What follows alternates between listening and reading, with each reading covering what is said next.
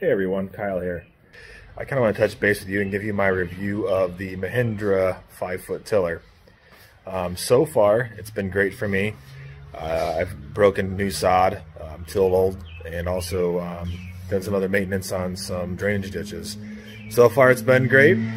It actually has seven tines, and then on those seven tines, it has six teeth.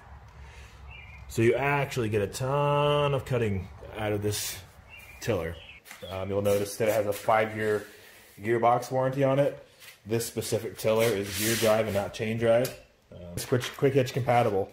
So you'll have your um, bushings here um, that everything slides into and you just back up to it and go.